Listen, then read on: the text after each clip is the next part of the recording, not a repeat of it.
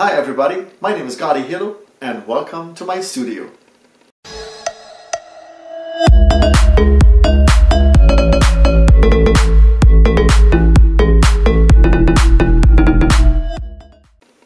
In today's video, we're going to do three paintings with one palette knife. Three paintings, one palette knife. I hope you enjoy it.